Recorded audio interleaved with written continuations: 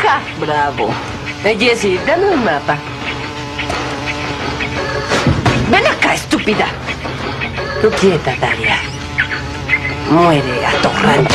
¡Auch! Me picó. No va a hacerlo más. ¿Por qué no me quedé en casa, donde todo es tranquilo y nunca pasa nada?